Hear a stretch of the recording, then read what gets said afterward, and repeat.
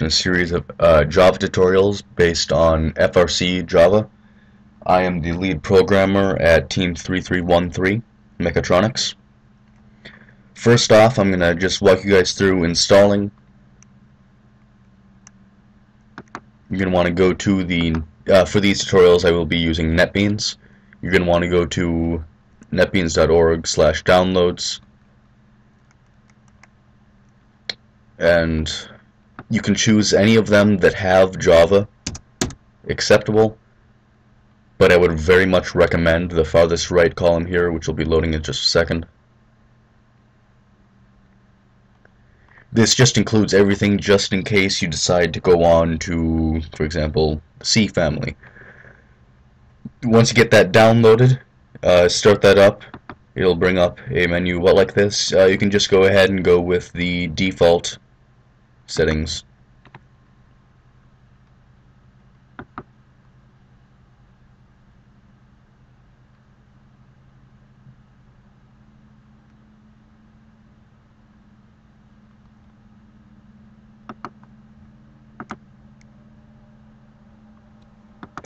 just go ahead and accept all the terms of agreement and things like that.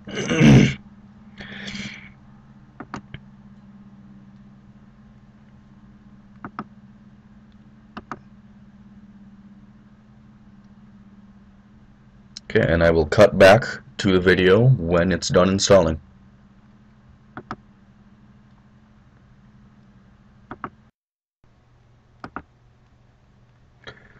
Okay, at this point the installation should be done. Um,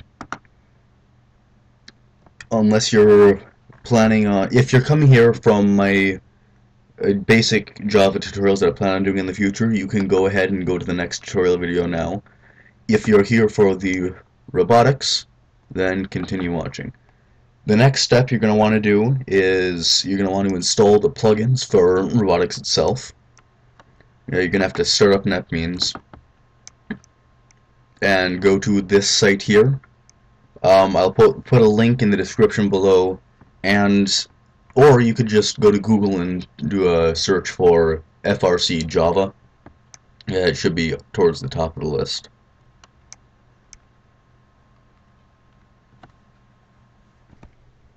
Okay, once you're here, you're going to go to File Releases you're going to want to go down to two, uh, 2012 Java updates. Um, depending when you're watching this, it might be a different set. Uh, they should all be the same though. And then in here, go to the NetBeans modules and download this top one here. While that is downloading, depending on how fast your internet is, you can get some other things set up in here. Uh, with NetBeans uh, 7.2.1, these sidebars here are not default on. So in to get those, you're going to want to go to Window and Projects. That'll open up this one. And also, you're going to want to open up Properties. That's not necessary for FRC, but it's helpful if when you're doing actual Java applications. Okay, once you've got that, you're going to want to unzip it to any folder you want to, really doesn't matter where. Once you've got that done, you're going to go back to NetBeans. In Tools here, there's a menu called Plugins. Open that up.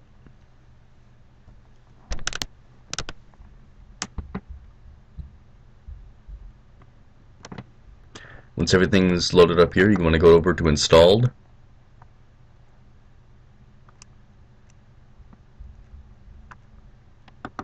It's changed a little bit. Yeah, go over to Downloads, click Add Plugins.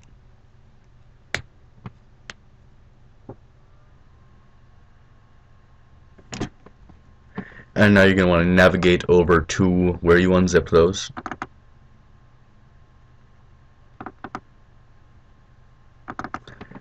And go ahead and select all six of them. Click Open.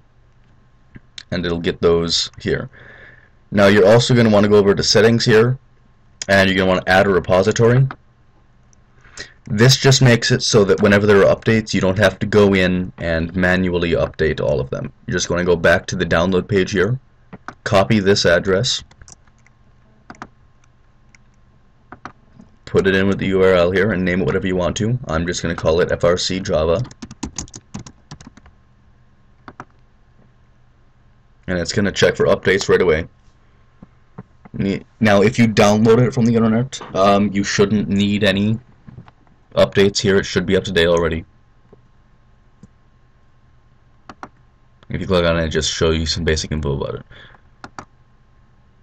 No. You're going to want to go back and actually check all of these and click install.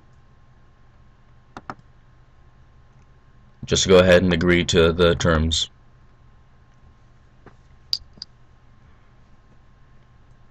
It's